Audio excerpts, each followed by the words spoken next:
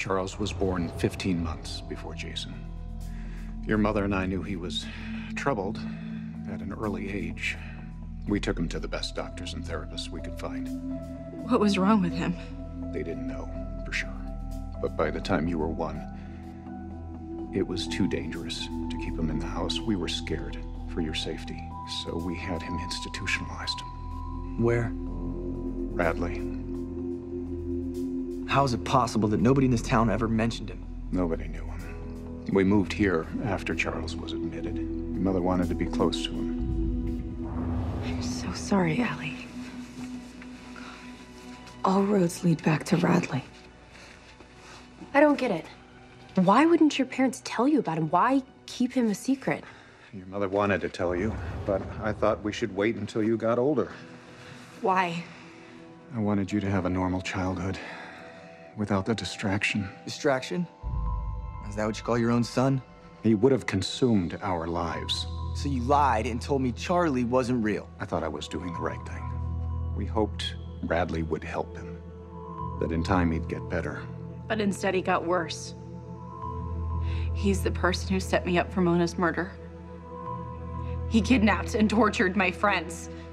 Charles couldn't have done that. How is your father so sure? Because Charles is dead.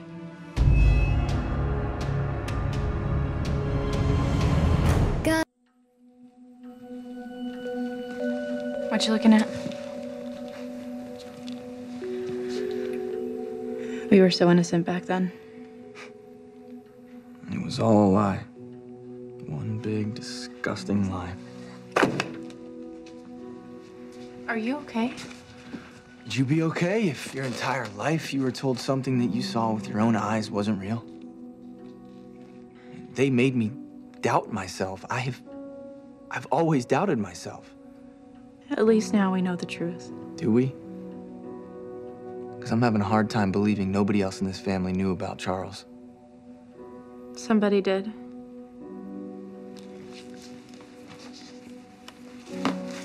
This is his Radley file. The girls got it.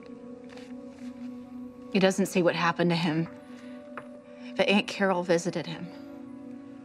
And Carol. Yeah, many times. What is it? Last year, when I got hurt in that elevator and I thought Wilden was after me, I needed a place to hide out. I knew nobody was living in Aunt Carol, so I drove up, but when I arrived, someone was there. Jason, why aren't you at the hospital?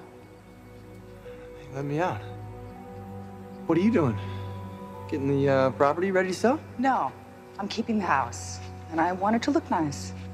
Good, because I think I'd like to stay here for a little while. You can't do that. Why not? There's a plumbing issue. They had to turn the water off inside. I'll just stay for tonight then. That's not a good idea. It's a mess in there. I don't care, Mom. It's one night. I said no, Jason. I'll be done in an hour. I'll see you at home.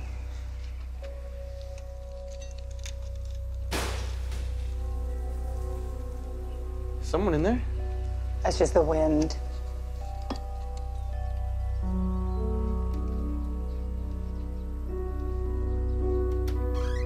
And I got my car and left. Did you ever go back? No. But I always wondered why she kept the place when no one was living there. Maybe someone was living there.